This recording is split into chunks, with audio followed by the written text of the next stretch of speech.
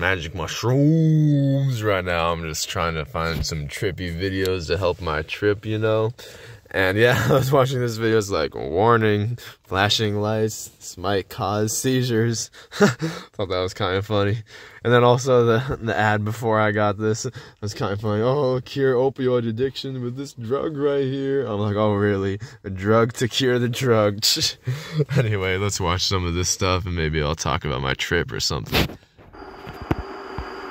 So I was hanging out with Seven McCar earlier today he was smoking the 5-MeO DMT turbo and then he gave me about uh, two grams. So yeah, I was like, whoa! I started tripping out, and he showed me this ayahuasca documentary. It was really awesome.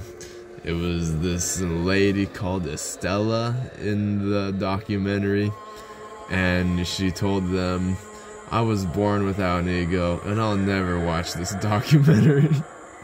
I thought that was funny. She said that she asked the ayahuasca to bring her a husband who's not fat, and then there's the cameraman. It cuts to a scene of her husband playing basketball. I'm like, oh wow, that's that's pretty awesome. What else?